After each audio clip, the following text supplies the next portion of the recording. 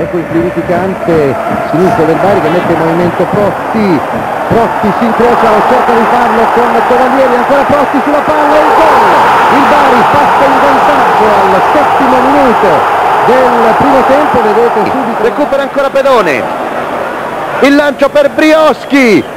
Il cross di Brioschi in aria. Protti e gol! Protti gol! Protti gol!